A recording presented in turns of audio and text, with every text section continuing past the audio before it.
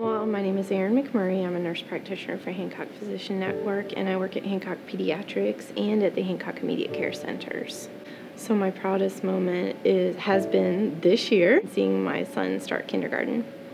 I was just so proud because I've watched him um, go through so many things in his life and he's had so many accomplishments and um, just seeing him reach that point being able to drop him off and him walk confidently into school and get settled in was an amazing moment for me. I feel like my general philosophy when i approach a patient is to look at them as one of my own family members.